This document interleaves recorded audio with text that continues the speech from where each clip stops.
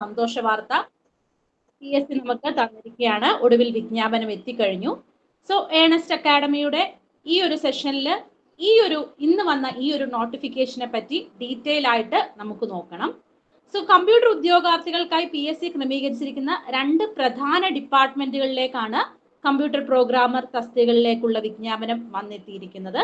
ഒന്ന് Kerala state planning ബോർഡിലും രണ്ടാമത് മത്സ്യ ഫെഡ് എന്ന് പറയുന്ന ഈ രണ്ട് ഡിപ്പാർട്ട്മെന്റുകളിലേക്കാണ് പി എസ് സി ഈ ഒരു നോട്ടിഫിക്കേഷൻ എത്തിച്ചിരിക്കുന്നത്.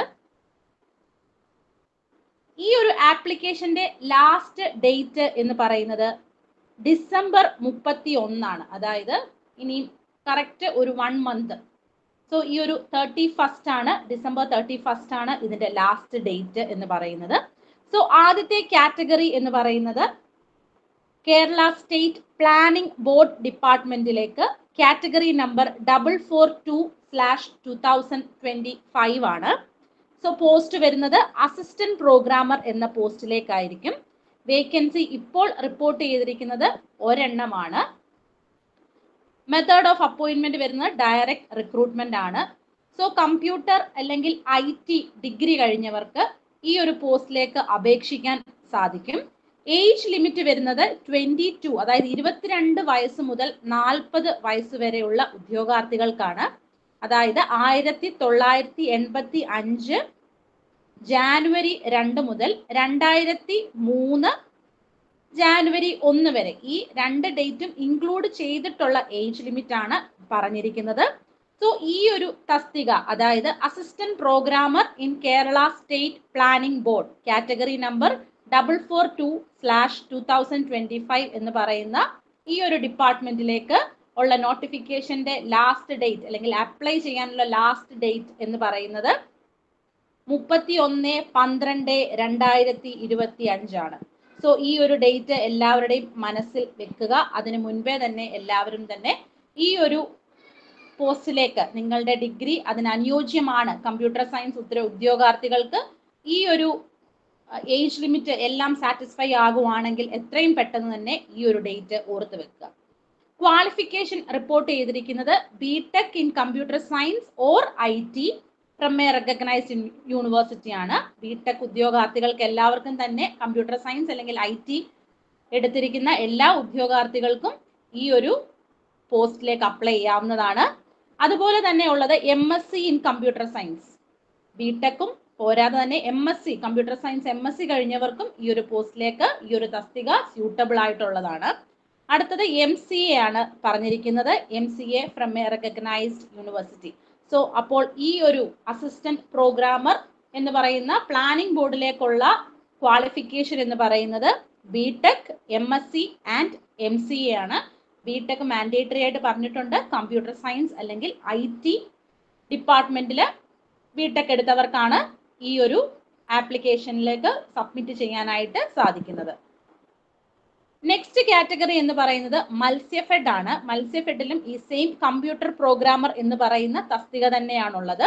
അതായത് Kerala state cooperative federation for fisheries development limited മത്സ്യഫെഡിലേക്കും report ചെയ്തിരിക്കുന്ന വേക്കൻസി എന്ന് പറയുന്നത് ഒരു വേക്കൻസിയാണ് സ്കെയിൽ ഓഫ് പേ വരുന്നത് ഇരുപത്തി ഏഴായിരത്തി എണ്ണൂറ് മുതൽ അൻപത്തി ഒൻപതിനായിരത്തി നാനൂറ് വരെയാണ് സ്കെയിൽ ഓഫ് പേ ഉണ്ടായിരിക്കുക.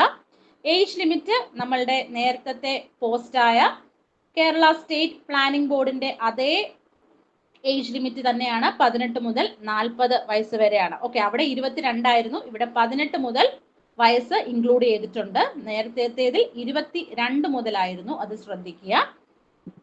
അതുപോലെ തന്നെ എസ് സി എസ് ടി കാൻഡിഡേറ്റ്സിന് ഏജ് റിലാക്സേഷൻ ഉണ്ടായിരിക്കുന്നതാണ്. ഇവിടെ വരുന്ന ക്വാളിഫിക്കേഷൻ എന്ന് പറയുന്നത് എം സി എ അല്ലെങ്കിൽ ബി ടെക് ഐ ടി അല്ലെങ്കിൽ B tech computer science from a recognised university ആണ്.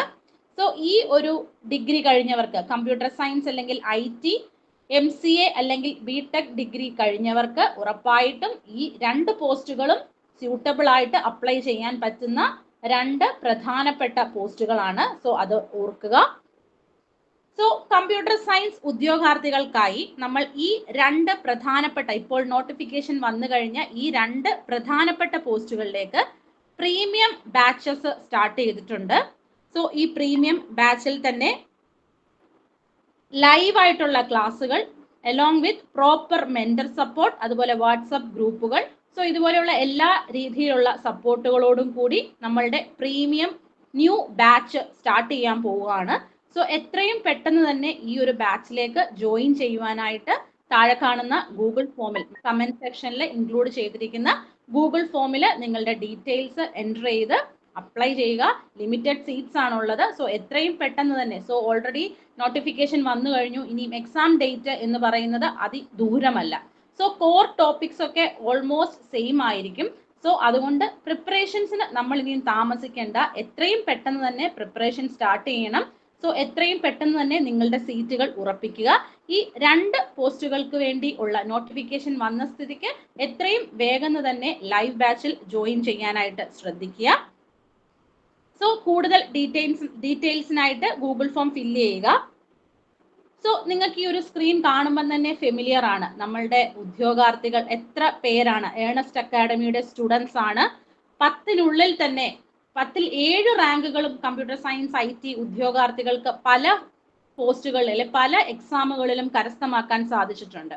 പ്രോഗ്രാമർ പോസ്റ്റുകളിൽ ഒരുപാട് ഈ ഒരു Kerala state cooperative marketing federation ലിമിറ്റഡിന്റെ തന്നെ പ്രോഗ്രാമർ തസ്തികയിലേക്ക് തന്നെ ഒരുപാട് ഇരുപത്തി ഒൻപതിൽ പതിനാല് റാങ്കുകളും നമ്മുടെ ഏണസ്റ്റ് അക്കാഡമിയുടെ കാൻഡിഡേറ്റ്സിന് തന്നെയാണ് ലഭിച്ചത്.